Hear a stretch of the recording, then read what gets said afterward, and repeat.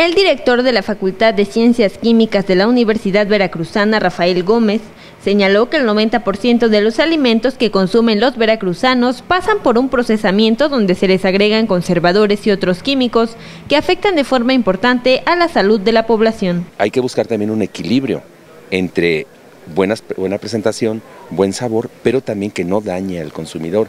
Entonces, en parte de la formación de los muchachos está el buscar eh, las tecnologías que también protejan a la salud del, del consumidor.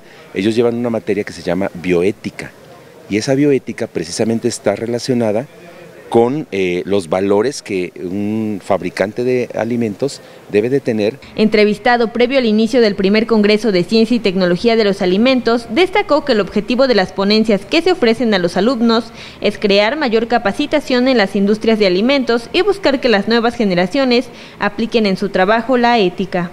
El papá y la mamá se van a trabajar.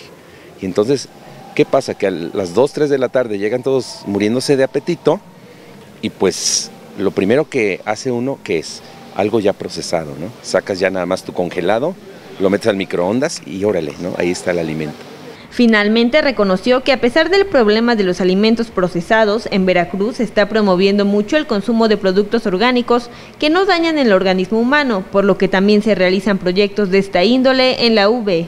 Rosalía Hernández, El Portal Televisión.